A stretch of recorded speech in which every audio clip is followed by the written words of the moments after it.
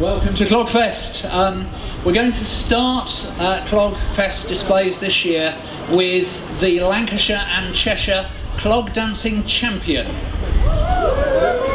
Every year in September we have the Lancashire and Cheshire Clog Dancing Championship and in September last year that was won by Carrie Davies who's going to show you her winning routine now. So big hand for Carrie Davies.